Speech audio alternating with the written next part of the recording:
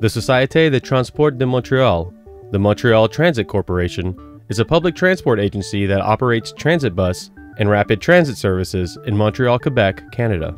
Due to the increased demand for public transit, the STM needed a new transport center to accommodate its growing fleet.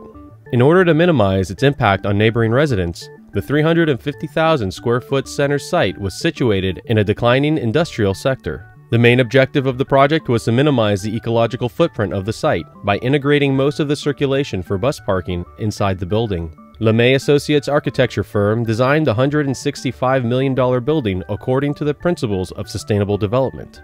This giant two-story building has a capacity for up to 300 buses, including 100 articulated double buses.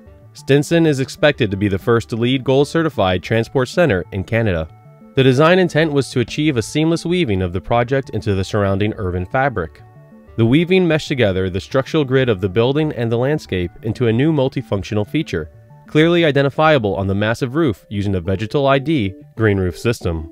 Over 80,000 square feet of their standard mix of HydroPack made the STM building the largest green roof in Quebec, as well as the signature of the project.